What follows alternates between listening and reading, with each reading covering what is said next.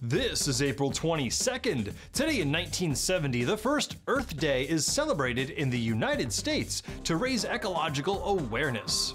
Later that year, the Environmental Protection Agency would be formed. And in 1886, Ohio passes a statute to make seduction unlawful, targeted at male teachers of female students. Your word of the day is rebarbative, causing annoyance, irritation, or aversion.